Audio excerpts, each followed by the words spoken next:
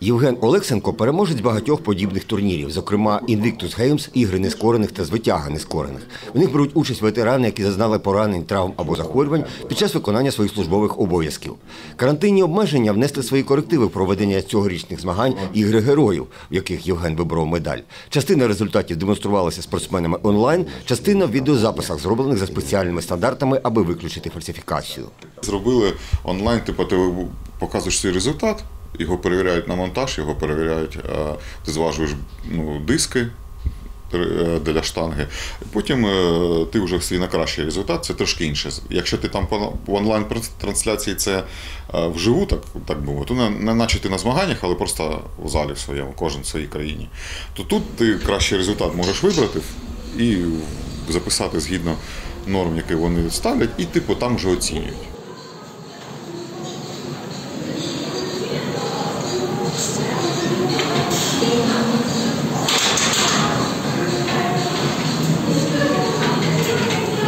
Ну что, ты доволен собой? Да?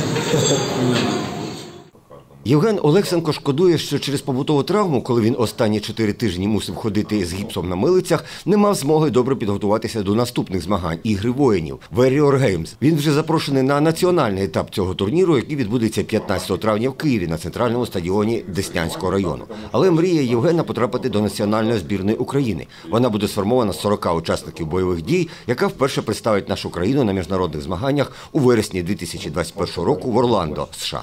Ці ігри ще покликані залучити найбільше до змагань найбільше кількість ветеранів, особливо для чого?